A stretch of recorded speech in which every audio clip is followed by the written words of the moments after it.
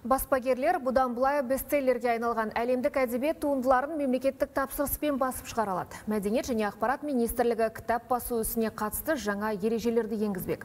Бұл туралы министрі Аида Балаева Фейсбуктегі парақшасында жариялады. Жаңа кітапты басып шығару өтінімдері жылына екі рет қабылданады. Жаттарды тексеруге 10, қоғамдық талқылауға 15, арнайы тәуелсіз комиссияға 15 күн және сарапшылар қорытындысын жариялауға 2 ай беріледі. Сонымен бірге жаңа әдеби туындыларға грант тағайындалмақ, яғни қаламгер туындысының бір парағына ең төменгі 6 жалақының мөлшерінде қаржы төленеді. Мәселен, 165 кітапқа 4 миллион теңгеден астам қаламақы беріледі.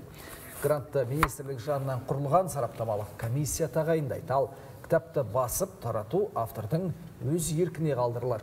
Егер туынды көп сатылса, ары қарай оның басылымын мемлекет өз мойнына алады. Сондай-ақ, сараптама комиссияның әдебиеттерді оқып, қорытынды пікір жазу уақыты екі айға қысқаратынында шығарманың күрделігіне қарай өтемақы көлемі екі есе ұлғайтылады.